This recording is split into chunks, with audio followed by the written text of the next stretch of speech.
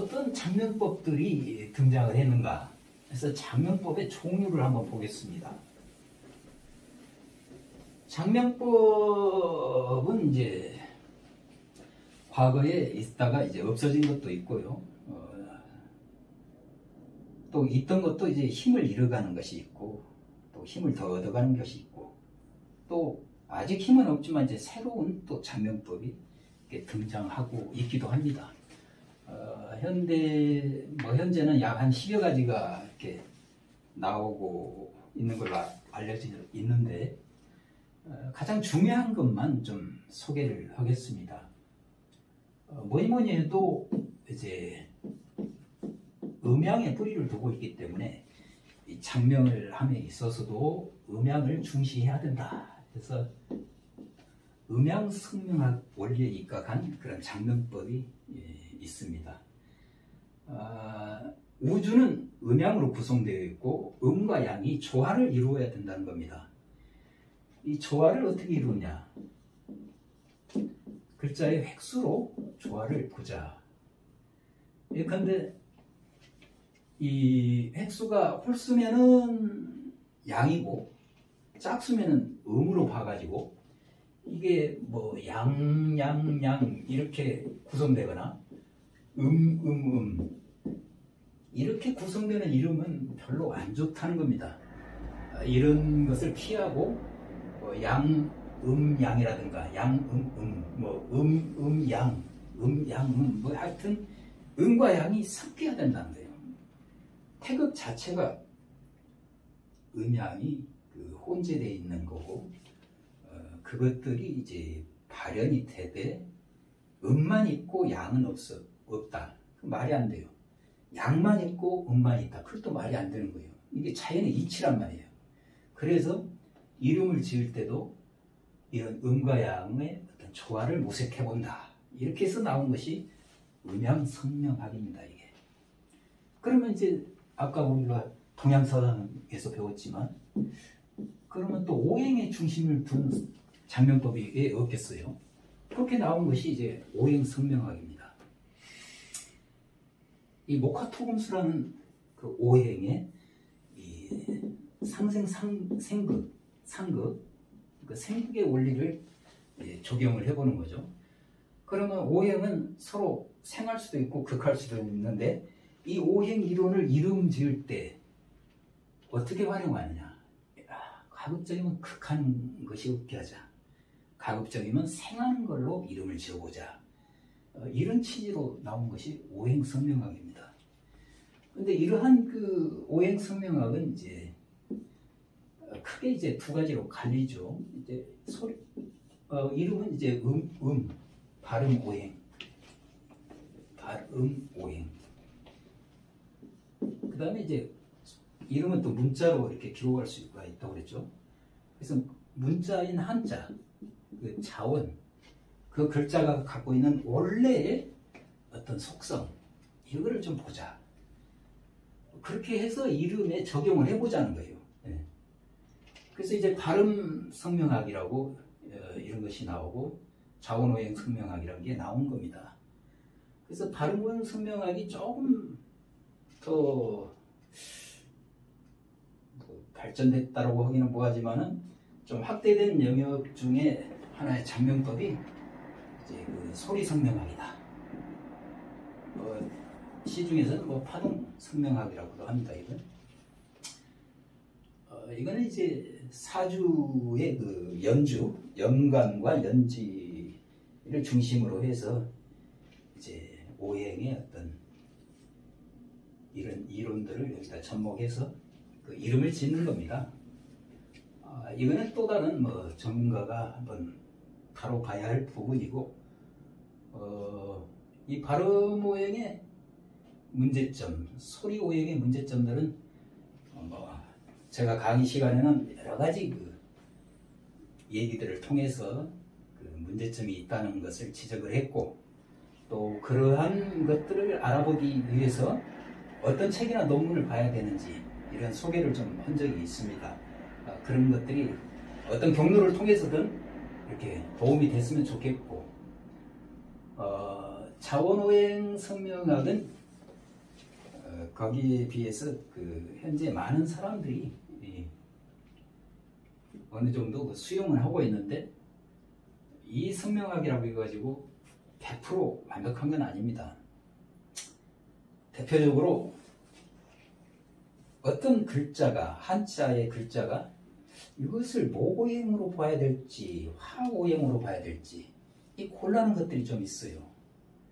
자원오행은 주로 이제 오행 분류할 때 글자를 어떤 오행에 배속시킬 거냐라는 기준을 일단은 그 부수를 봅니다. 그 글자의 핵심은 그 부수에 있다. 그런 다음에 부수로도 오행 배속이 좀 어렵다 싶으면 그 글자의 어떤 본래의 뜻이 뭔가 어의를 가지고 이렇게 살펴보는 뭐 요 정도까지 지금 와 있습니다. 어, 제가 뭐 그 부분에 대해서 뭐, 뭐, 논문을 좀 써볼까 하는 그런 생각도 있었습니다만 아직 뭐 완성 단계는 아니고요. 그래서 자원오행 성명학이 그나마 좀 흠이 좀 적은 어, 성명학으로 이렇게 좀 인식이 되고 있습니다. 그러면 이제 아까 우리가 소강절 소홍의 그 상수학의 수를 많이 얘기했었는데 이 장명에 있어서도 이 수리를 좀 중시해서 어떻게 이름을 지을 수 있는 방법이 없을까?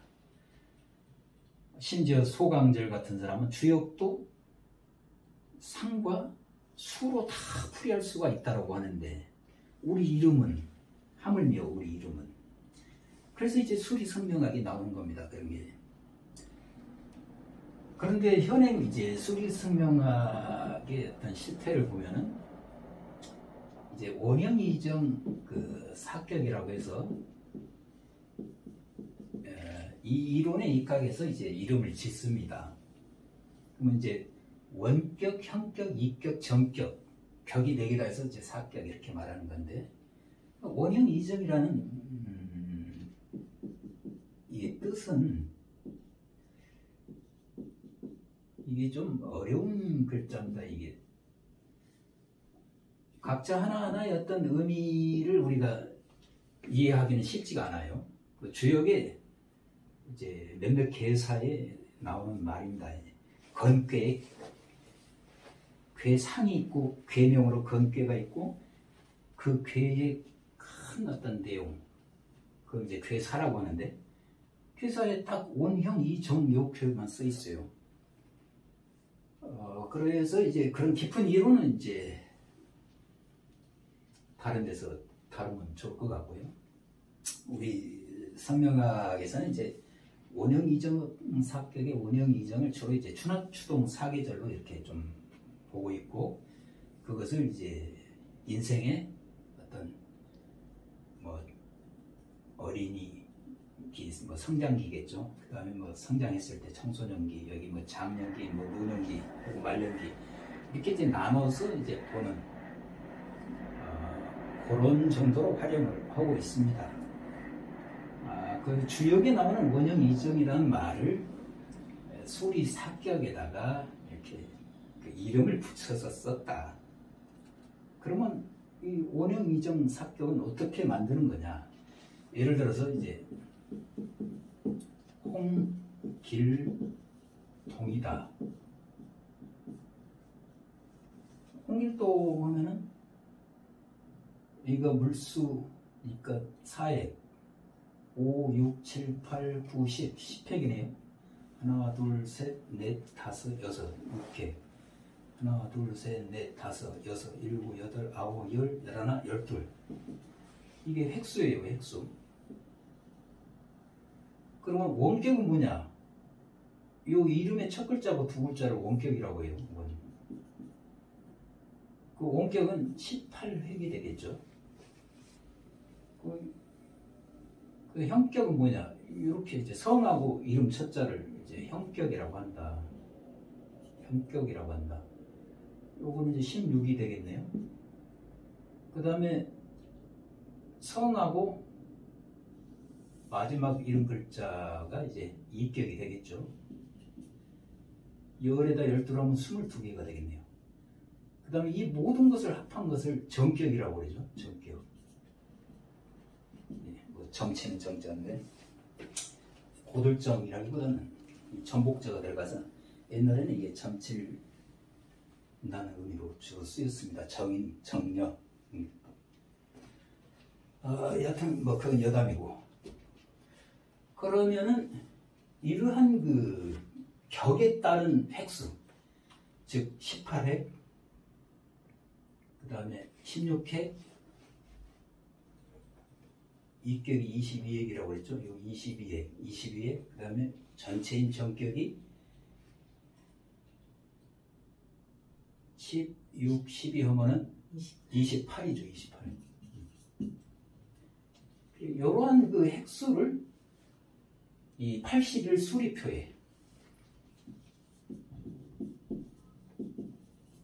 찾아봐 가지고 아 이게 다 이제 길하다. 요 18도 길하고 16도 길하고 22도 길하고 28도 길하니까 아 이렇게 쓸 수 있다. 이렇게 하는 겁니다. 어, 그런데 문제가 또 있어요. 요, 요 81 수리의 길흉을 과연 얼마나 믿을 만한가? 이제 현행 실무에서는 이제 일본의 성명학자 구마사키 게노라고 이제 어, 웅기건홍이라고 했죠. 웅기 건홍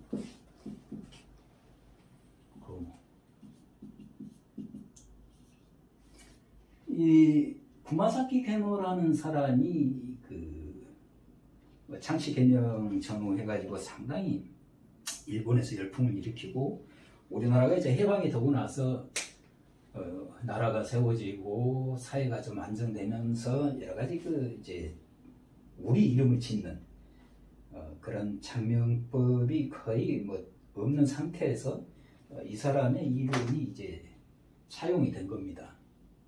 대신에 이제 일본 사람의 이, 이론은 이제 그 오격 부상법이라고 해서 오격 부상법이다. 부상법. 이 오격 부상법은 이렇습니다. 예를 들어서 그 일본 사람 이토 히로부미라고 있죠. 이토 히로부미. 자, 이, 뭐, 2등 방문이다. 방문. 1등 방문이 아니어서 다행이라는 그런 우스갯소리도 있는데 1909년에 어, 안중근 의사에 의해서 사살됐죠. 그러면 이 2등 방문이라는 이 이름을 놓고 이걸 청격이다. 이게 인격이다. 이걸 직격이다. 그 다음에 요구하고 요 끝을 갖다가 이제 외격이다. 이 모든 걸 합쳐서 총격이다.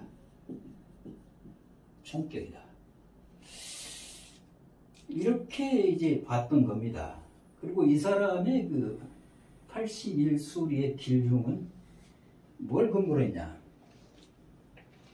일본에는 옛날에 그 쇼군들이 많이 있었죠.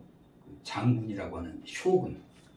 어마어마한 권력, 영토를 갖고 있는 그런 쇼군들이 이제 지배를 오랫동안 해왔는데 명치 유신을 통해서 이제 그것이 다 이제 혁파가 되죠. 네, 천황제 중심으로 돌아가는 건데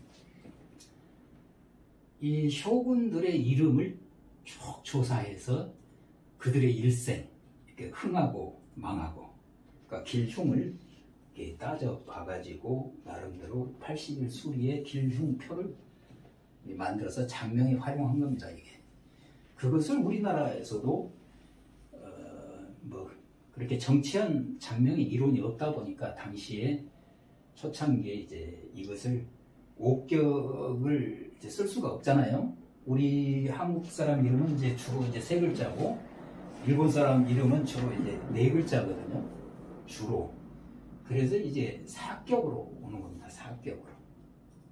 그 사격의 이름을 뭐 청격, 인격, 직격, 뭐 외격 이렇게 않고 원격이다, 형격이다, 이격이다, 정격이다 이런 명칭을 붙여서 예, 장명을 그 활용해 오고 있는 실정입니다. 그래서 이 사람들의 이론이 그렇게 근거가 확실하다라고 인정은 아직 안 되고 있습니다. 단지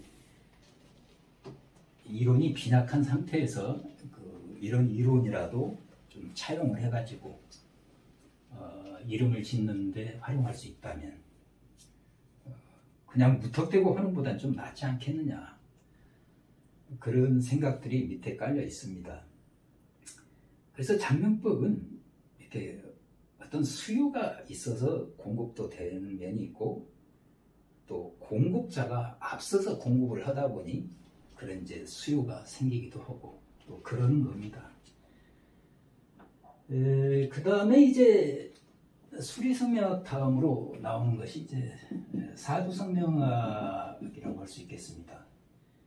어, 이 사주에서는 또 특별히 용신만 가지고 하는 뭐 비슷한 맥락이지만 사주 성명학, 용신 성명학이 있고요. 이러한 것들은 이제 사주를 구성해가지고 분석한다. 그래서 그걸로 그 사주의 부족한 부분을 이름을 가지고 좀 보완을 해보자. 라는 취지에서 이제 출발하는 장명법입니다.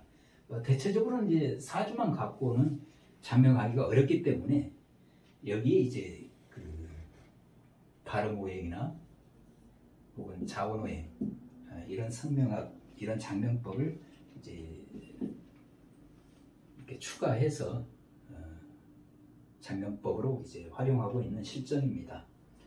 어, 저 역시도 주로 이제 뭐 이, 이, 크게 봐서 이런 평양에 있는 사람이다라고 말할 수 있겠고요.